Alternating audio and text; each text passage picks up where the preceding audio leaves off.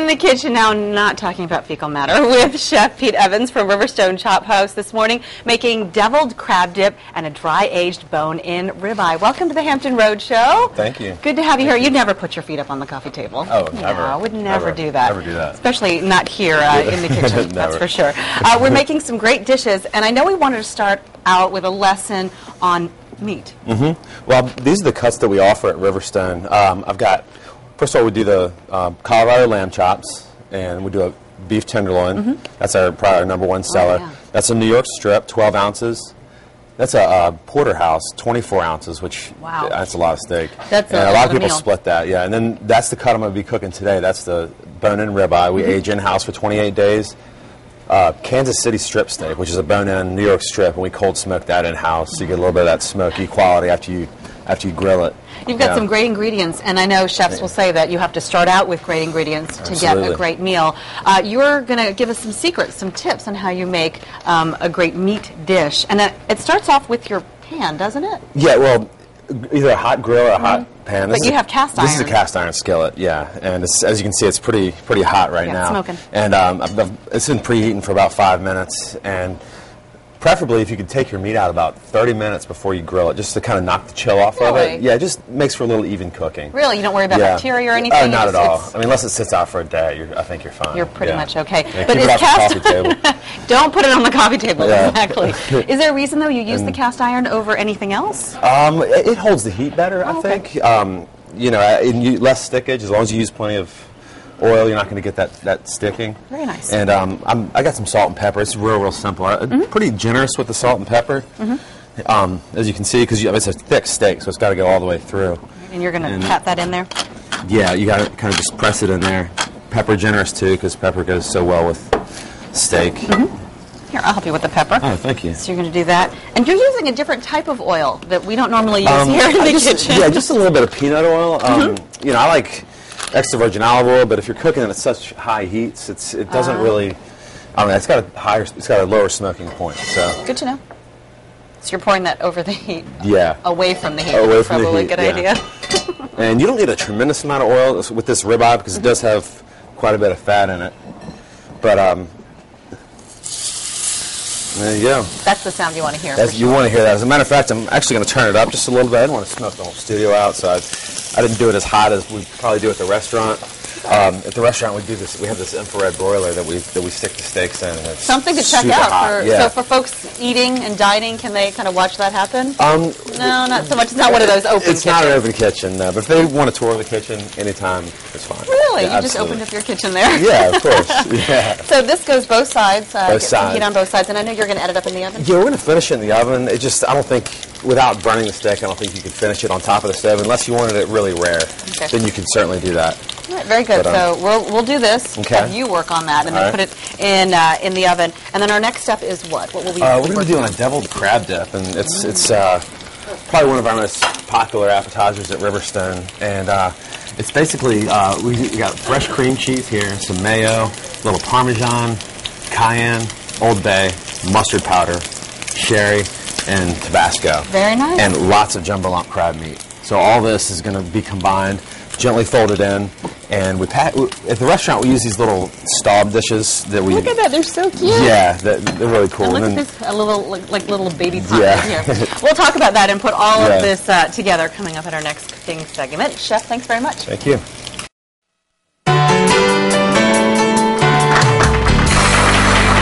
In the kitchen with Chef Pete Evans from Riverstone Chop House in Suffolk this morning, making deviled crab dip and a dry-aged bone-in ribeye. The meat is in the oven, It cooking is. nicely. Oh, yeah, And now looking we're ready to do our dip. Deviled crab dip. This is far and away our best selling appetizer. People love it, and rightfully so. It's it's good cold, it's good hot, but um, we serve it hot um, with some focaccia that our pastry chef makes John Dagan, I think you have to take a look at this. Yeah, so you made this actually before you sleeve. came here, and then you We brushed did. it with some. We brushed it with some butter and, and toasted it in the oven, so you get that nice Can't wait. butter. Oh, it's good with the butter. You know, the butter and the crab go so well together. And um, but usually what we do, we we make it in a much larger batch at the restaurant, of course. You know, three or four pound batches. I believe it because you uh, churn out quite a bit of it. We do, we do. Uh, this is fresh cream cheese. Okay. Um, Scoop that in here. a- yeah, it's about eight ounces of fresh cream cheese. Very nice. And um, People in our Um, audience, by the way, are talking about your restaurant and Okay, how much they love it. Yeah, that's great. yeah, where are you um, located for folks who don't know? Um, we are uh, exit 9A, College Drive, Mm-hmm, in uh, right off of 664 in Suffolk, North Suffolk. Um, and our sister restaurant, Vintage Tavern, is right down the street, about 10 minutes away. So. Mm-hmm. yeah, we've had them on the show before. Yeah, definitely. Yeah, they do a great job. Uh, this is a little mayo, about a cup or so of, uh, of mayonnaise. Uh, the cream cheese uh, should be room temperature. That probably isn't as That means we'll have to do a little bit be. of work later. Oh, we'll make it work. Yeah, absolutely. And uh, this is uh, Parmigiano Reggiano, just the good stuff. Am I mixing it Yeah. while we're doing that? Yeah. I can? Okay. Yeah. Kind of fold it together. Sure. yeah, it's kind of you, can gotta kind of mash it. I'll, I'll do that. Um, and then some diced onion. I'd say probably about a half of a small onion is, is perfect here. I'll just probably add about that much. It's plenty. Now, will this be heated? Like you're going to cook Uh, well, yeah. and then... what we do is we mix it ahead of time, everything with crab meat and everything, and then we chill it. Mm-hmm. I see. And then when an order comes in, we'll we'll put it in the oven. And then here comes the the, um, the deviled part. A little bit of ground mustard Nice. and some cayenne. It's another part of the deviled. This is really an opportunity to learn one of your secret dishes, too. Yeah, this it is is. something that uh, is. Obviously not you serve a lot of. a little bit of Old All Bay because Old Bay and crab is a kind of a. They go hand in hand. They do. In any case, the recipe will be online Yes, at it will be. thehamptonroadshow.com. So you're giving up some Um, secrets. A couple shots of Tabasco Very nice. Some good flavor. and uh, some sherry here. We use a good uh, Spanish sherry. Uh, I'd say about a tablespoon of that, and that with the crab also Mm-hmm. is a great combination. It's almost like you know, she crab soup always has that little bit of sherry in there. Yeah, this is good. It's like decadent stuff here on the Yeah. Hampton Road Show this morning, but it's all Yeah, good. it is. Just a moderation. It comes Moderation. together really nicely, too. It does, yeah. That fresh cream cheese that we use is, uh, I think, is the key here.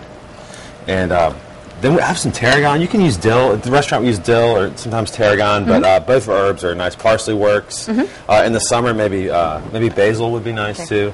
So once this goes in, um, what else comes in? We're unfortunately Um, running out of time. Okay, so- all right. Well, we'll do some crab meat then. This, is the, this is the, the main event here. This is jumbo lump crab meat. It's a pound for all that, so Right. it's very crabby. I think people will not complain for Yeah. sure. And I know Make from you doing, doing this before, don't too much. Like don't Yeah, stir too exactly. much. Just kind of fold it in. lumps up. All right, So we are unfortunately running out of time, That's but we will come back, that. finish this up, talk about this, bring out the steak, Okay. talk more about the restaurant in our next segment. Sounds good. Thank Chef, you. Thank you.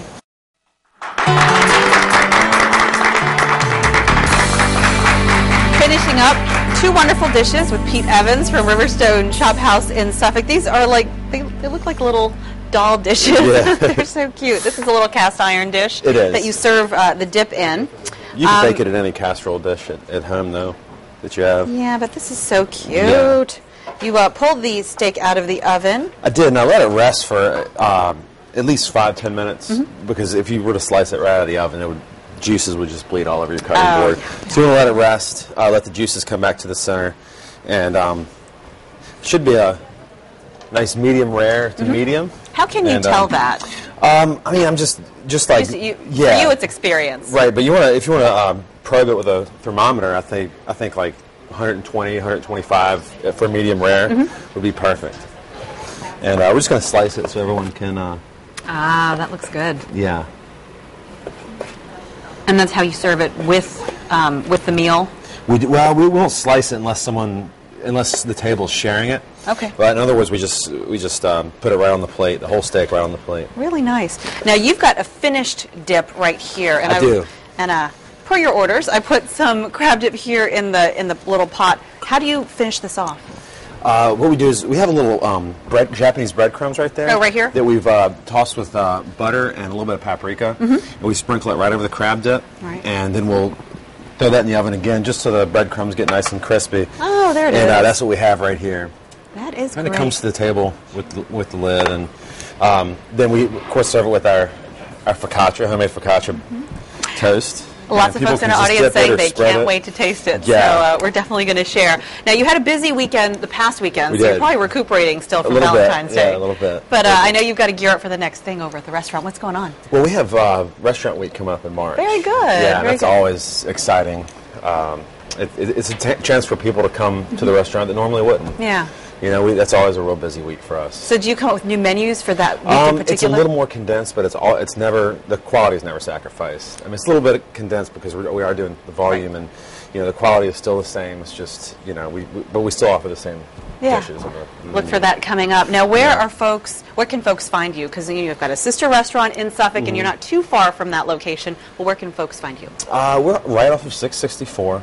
Uh, I believe it's exit 9A. Mm-hmm. Right. College Drive. I know, you just drive it, so you're not sure the exit. You yeah, I just drive it, you I'm know how on to get to work. Autopilot when I'm driving to work, but um, I mean it's it's in North Suffolk, but it takes you know from downtown Norfolk, I'd say it takes 10, 15 minutes. Um, it's not that far, not as far as some people think.